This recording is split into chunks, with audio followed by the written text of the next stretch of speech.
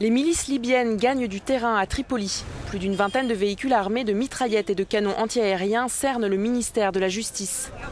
Ces anciens rebelles réclament l'adoption d'une loi pour exclure du gouvernement les anciens collaborateurs du régime Kadhafi. Sous la pression des miliciens, le Congrès général national a suspendu ses séances plénières jusqu'à dimanche afin de trouver un compromis. Ce que nous voulons, c'est l'adoption de la loi sur l'exclusion politique des anciens collaborateurs du régime Kadhafi, de la purge du système judiciaire, des institutions étatiques et des ministères. L'actuel ministre de la Justice était le professeur de droit d'Aïcha Kadhafi, la propre fille de Muammar Kadhafi. C'est l'un de ceux qui a travaillé avec l'ancien régime et qui est toujours au pouvoir. Ce mouvement de protestation armée prend de l'ampleur et risque de paralyser le gouvernement. Déjà depuis dimanche, les miliciens cernent le ministère des Affaires étrangères et certains ont appelé à une manifestation ce mardi en plein centre de Tripoli.